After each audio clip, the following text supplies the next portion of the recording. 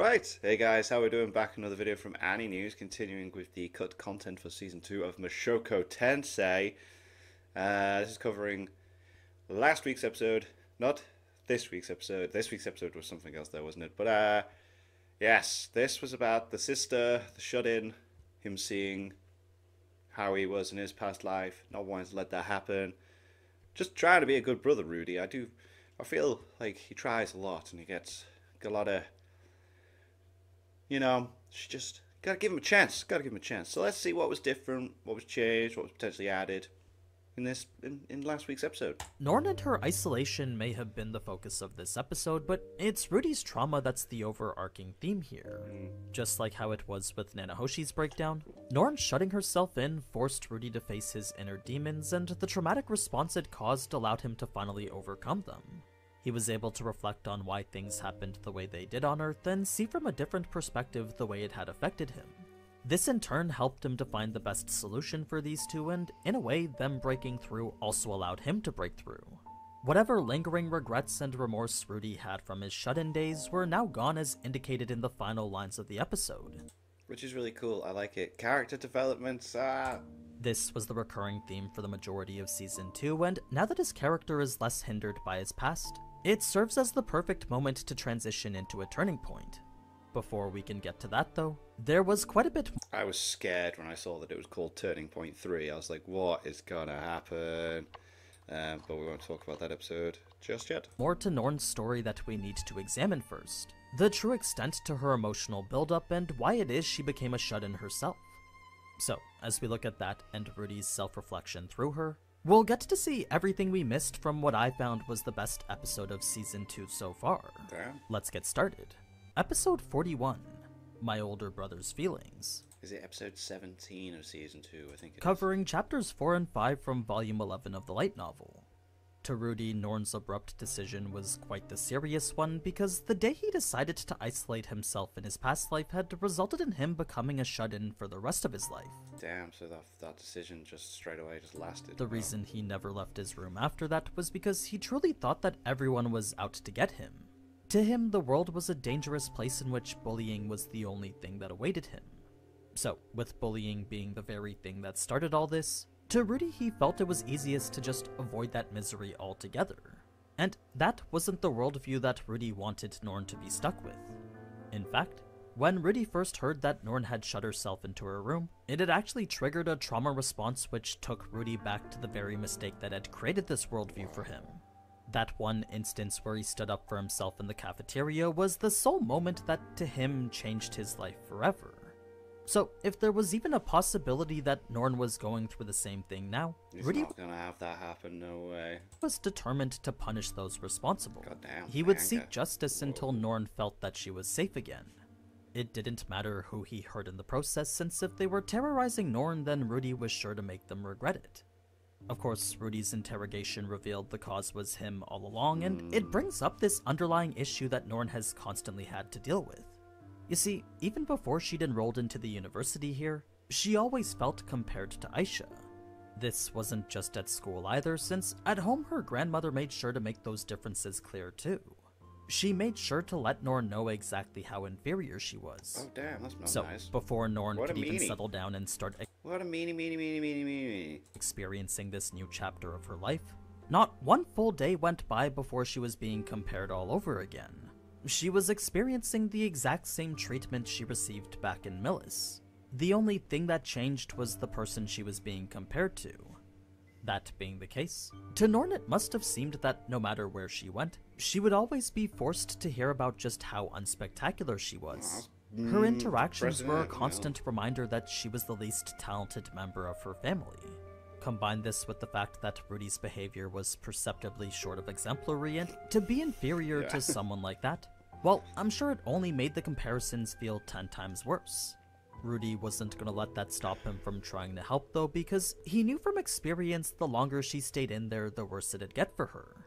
He knew even just a month could have serious consequences. She likely wouldn't start to regret it until at least a year or two later, but at that point the damage would be done already. Whatever feelings of remorse she'd have about wanting to do things differently wouldn't change the fact that the past however many years were wasted.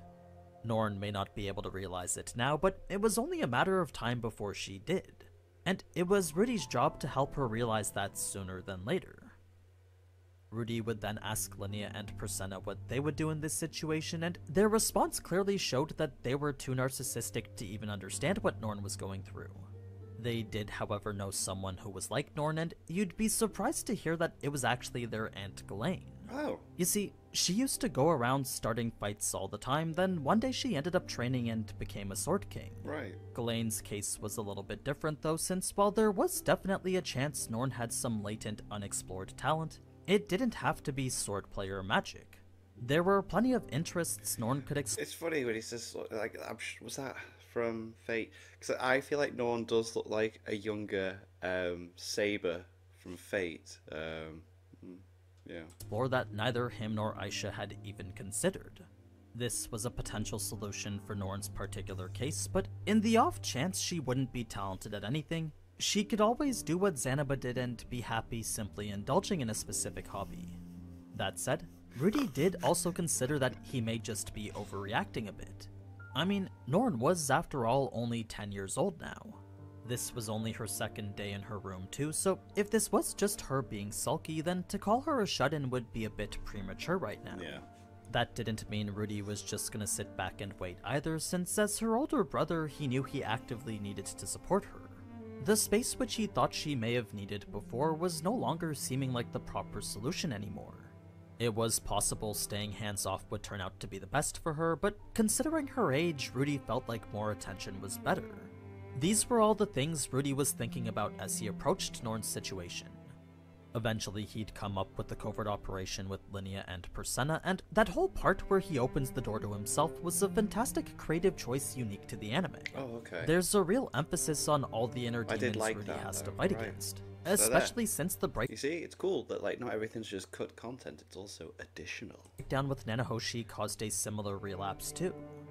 So, it was as Rudy walked towards Norn in her room that he would remember all the things he hated hearing.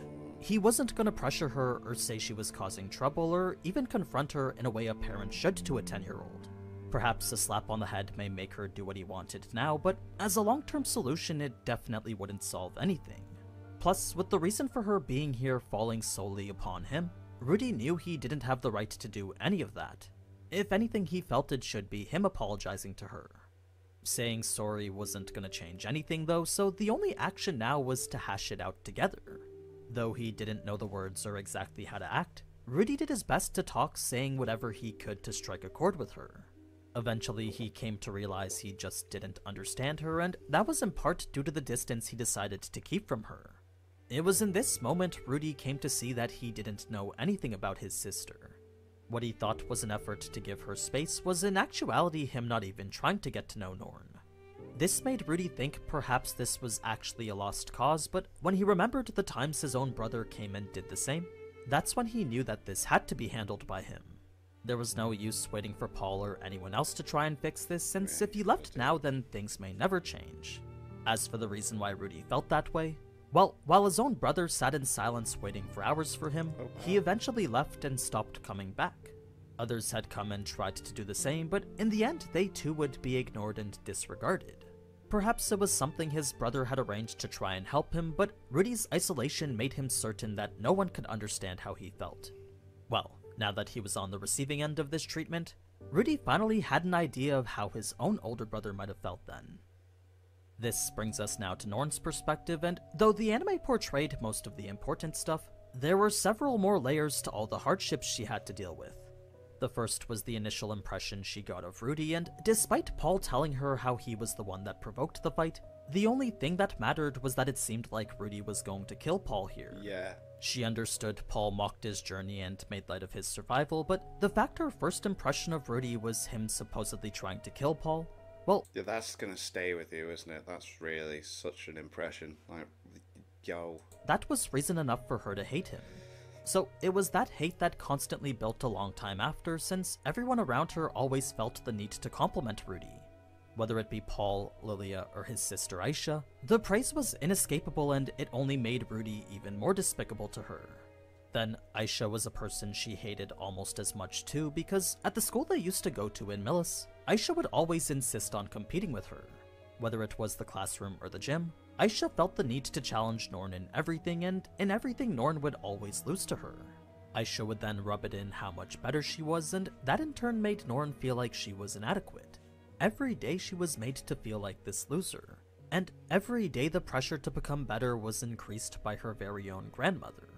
Since Zenith's mother was aware of the way things were with her and Aisha, the contempt she had for Aisha was, to say the least, palpable. From the way she called her illegitimate to the high expectations she placed on Norn, it was clear Zenith's mother wasn't the very best grandparent. Yeah, That being the case, pleasant. there were Mm. certain bars that needed to be met for the lady of the Latreia family, and to Norn that meant she needed to be competent. That's pretty difficult when the person you're competing against is Aisha, though, since for Aisha the way she dealt with her problems was by being better than Norn. You see, Damn. the reason she felt the need to always challenge her was because that was the only way she could fight back against the people who denied her what she saw as her rightful place in the world. She wanted to see how far her potential could take She's her, so but cute. Lilia and Zenith's mother refused to acknowledge that. So the only thing she could do then was take it all out on Norn. As for the high expectations placed on Norn, this resulted in forced etiquette classes and specific ceremony lessons, none of which was anything Norn was particularly good at. She would mess up repeatedly and get scolded because of it, then even insulted as apparently such behavior was a product of adventurer blood. To Norn, she knew this was an insult to both Paul and Zenith, so it wasn't long before she started hating her grandmother too. In fact, it's actually the reason she was able to stick with Paul past Millis rather than stay here. If not for Ruijerd showing up when he did, then Norn might have actually been able to convince Paul to let her go all the way to Begaritt with him. It's lucky she didn't though, since if she did, she knew she would have made things a whole lot harder. Now, it was on their journey north that Norn would once again be faced with how inadequate she was. Aisha had somehow taken charge in a group with two adults, yet whenever Norn would try and do the same, anything she said basically got ignored. It wasn't fair that Aisha's opinions seemed to carry more weight than her own. I mean, they were both the same age after all.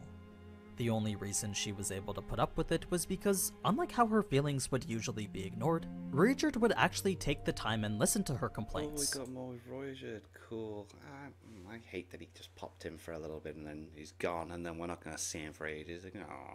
He displayed consideration for the way she felt, and that was something Although I feel like in the next good content there'll be more because was it uh, Rudy and Norn talk about writing a book about Roger's adventures. So not many did around her.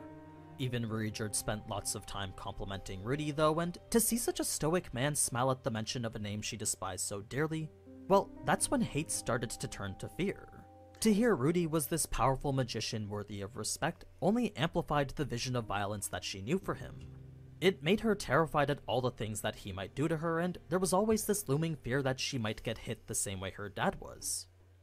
Fast forward to when she finally met Rudeus again, and to see him prioritizing his happiness when Paul's out risking his life only fueled the flames surrounding her hate for him. she's so She couldn't bring herself to say If anything, this was Star Wars. She'd be Anakin Skywalker, man. though, since if she did, she believed that Rudy might hit her.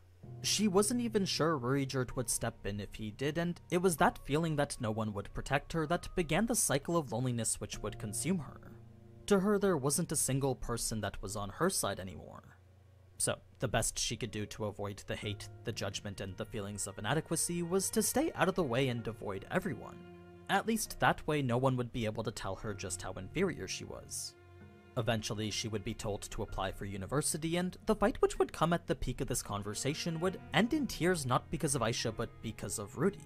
Hearing him speak in such a stern voice triggered the innate fear that Norn had built up for him. She truly believed that Rudy was going to hit her here. Now, even though he didn't actually do so this time, Norn could It's never. mad because we know Rudy. We we as the audience know he would never, he would never do that. Never. But she's just so misunderstood. So many things. Like, ah. ever be certain that Rudy wouldn't do so next time. She wondered if this was the fear that she would constantly have to live with now. That's when the topic of dorms came up, and just like that, a solution to everything Yeah, had like, appeared. please let me get You out see, here. if she moved to the dorms, then she wouldn't have to see Aisha or Rudy anymore. She wouldn't be compared to anyone who was better, and she could just be herself and live her own life.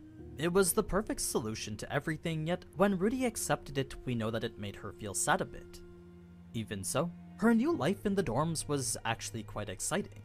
She gained a new roommate who was genuinely kind to her, and Oh. though her and the other beast that folk were what her grandma would describe as demons, Ruijerd had been able to teach Norn otherwise. It was because of that that she was actually able to become friendly with Marissa.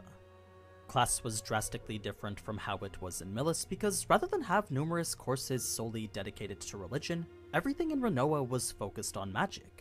Coming in halfway made picking things up rather difficult too, so it was only natural that Norn would struggle a bit. In fact, Marissa had actually had to step in and tutor her for a while. This helped her to learn some of the basics that she missed, and that made the whole study process a bit less discouraging. I mean, there were plenty of times where Norn hated herself for being so stupid, even more so when her intelligence directly influenced whether she would have to live with Rudy or not. Then it was over time that Norn would start to hear more about Rudy, and it was the contradicting way in which everyone spoke of him that led to her breakdown and eventual isolation. The initial opinion was that everyone was afraid of him since he was, after all, the leader of the Demonic Six, a group of thugs who went around doing whatever they wanted. Yeah, which is again a shame that it's cut out of the uh, the anime, like, but never mind.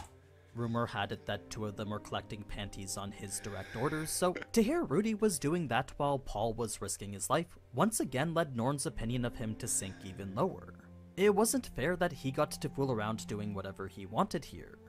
What went to make things even worse was that despite all the peculiar things Norn heard Rudy did at school, his reputation was still mostly positive amongst everyone. He never did anything to hurt or harass anyone, and whenever he did see someone getting picked on, he would always step in and make them stop.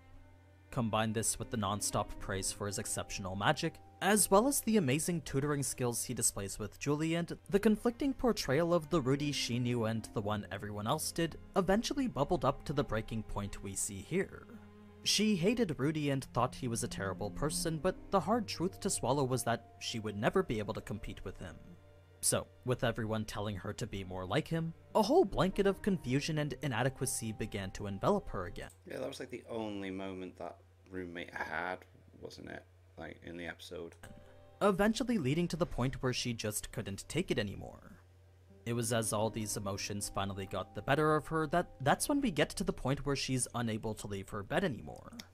Her realization about Rudy was mostly the same after, but there was an extra bit where she looked at things from his perspective. As she considered what it was like to struggle the way that Rudy did, she realized she too probably would have punched Paul for his demeaning comments as well. So it was as she slowly came to see her and Rudy weren't so different that she also came to understand she should try to make amends with Give him. a. Yeah, Unfortunately, him it didn't matter how much she wanted to, though, since at this point her body simply wouldn't move anymore. She knew what she had to do and she wanted to actually do it, but some part of her just wouldn't let her. That's when she would notice Rudy was already there, and while Paul and Ruijerd would have been by her side comforting her, Rudy kept his distance watching silently.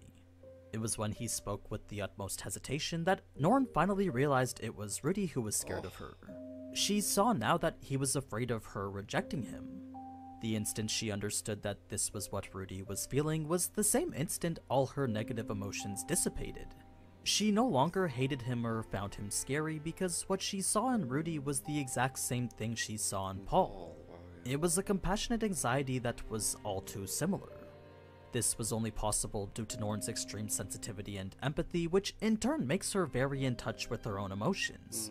It's the reason she's able to understand so quickly how Rudy is feeling and in turn sort through her own emotions herself. That would be it for Norn's side of things, which brings us now to how Rudy perceived it all. To him, what Norn did was a truly impressive accomplishment. She processed her emotions all by herself, then overcame whatever obstacles that were blocking her. To Paul and Aisha, she may just be this average kid, but to Rudy, his opinion of her was vastly different now. She'd displayed a feat of strength that Rudy's past self could never accomplish. And to be on the other end of it allowed him to understand his own problems from a different perspective. So, with this and Nanahoshi's breakdown allowing him to confront his own inner demons, you could say that there's two less weights holding Rudy down now. But yeah, that's pretty much it for this Oh, amazing cool. episode. As far as season 2 goes, I gotta say that this was my favorite episode so far. The emotions portrayed and the parallels displayed with Rudy had me feeling things I haven't felt since the episode back with Paul. Plus, with a turning point literally coming in the next episode, Ah, I'm pretty sure things are only gonna get better from here. Now, if you liked what you saw and want to see more, then consider leaving a like and subscribing. But anyway, as always, thank you so much for watching, and if you enjoyed this type of anime content, then you already know what to do. So, So- until next time, ciao. Wow. Cool. Nice to see the extras. We get more of an understanding of Norn's feelings and why she's the way she is. And yeah, I'm sure Tensei, I'm absolutely loving it. And these just add to the episodes. I'm intrigued to see what the changes are for the Turning Point episode. And uh, we will check that out when it's out. Thanks to my patrons. If you want to have your name at the end of every video, I want to be able to watch patron only reactions, such as the original Dragon Ball series. Links in the description to the Patreon page. $1 a month is all I ask to help support the channel. It's greatly appreciated. Thank you for that. Thank you all for watching. What do you guys think of that? What do you guys think of this? Click like, subscribe if you haven't already. Leave comments down below. Let me know what I should watch and discuss in future videos. And I'll see you guys, all you guys, next time.